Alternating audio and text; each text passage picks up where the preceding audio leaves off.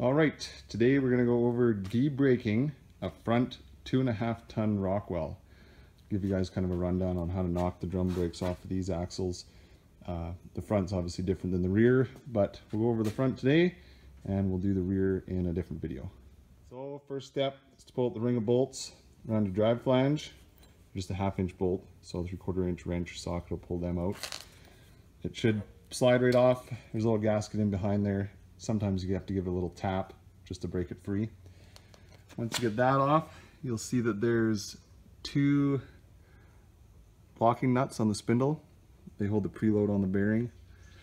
All you gotta do is, there should be a locking tab here, you can see, and these tabs will be folded over to hold the nut in place. All you gotta do is take a chisel, fold that locking tab back up, like I did there, and there. Then what you'll need is a three inch, eight point socket. With our socket, uh, the outer nut should be fairly tight. So take a bit to break it loose. Obviously I'm pretty tough, so I just did it with one hand. And once that's loose, spin this outer nut off.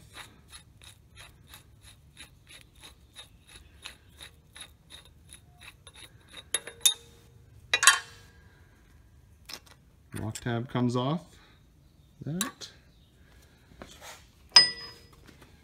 And this back nut, it just sets a preload on the bearing, so it's not too tight. Even the weakest of guys should be able to loosen that with one hand. Okay, now that we have both spindle nuts off, all that we have left holding things together is the outer wheel bearing there you can see it packed full of grease. And it should slide right off once you start breaking this drum loose.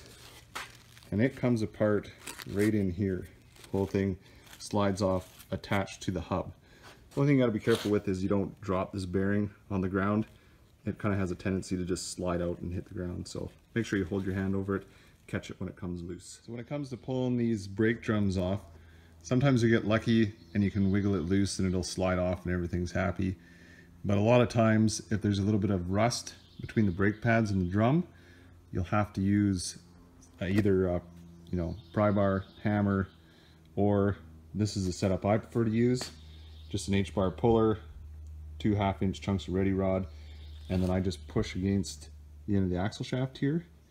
And before you freak out and think that it's going to damage something, the axle shafts do have a thrust on the back side of them that's fine to push on. And the amount of pressure that it takes to get this thing off of here is very minimal. It just saves a headache. And here is the drum removed. You can see the brake shoes in there. Here's the drum. Uh, when you're removing it, just be careful. It's a bit heavy. You know, if you're struggling with that inner spindle nut, you might want to get a hand, use a, you know, an engine hoist or maybe get your older sister to help you lift that off of there.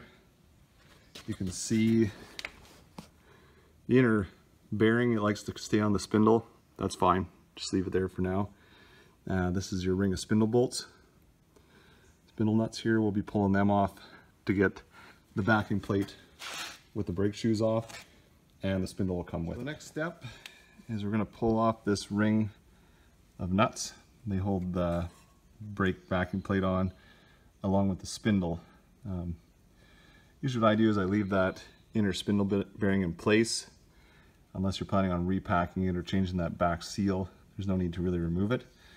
So what I'm to do is I'm just to cover that with a rag or if you're poor like me you can just cut up your sock and wrap that around there. It'll keep the dirt and stuff out of that bearing. Save you from having to clean it up. Here's our backing plate removed. Comes with a little spacer. Sits on it. All that's junk. It can go in the scrap bin. Uh, here's the spindle. It's broke loose. It'll sometimes take a little bit of effort to get it free. You can tap on the end of the spindle here. Just make sure you use a plastic hammer. Don't hit this with steel or anything. And uh, basically just wiggle it loose, slide it off. The other thing that I forgot to mention is once you're done pulling the spindle off, you can remove your sock from that bearing. It'll stay clean now. And uh, what I prefer to do is just give her a little, little shot of brake clean just kind of knock the, the grease off of it and then you can put it back on your foot so you have it for the next time you got to pull brakes off the Rockwell.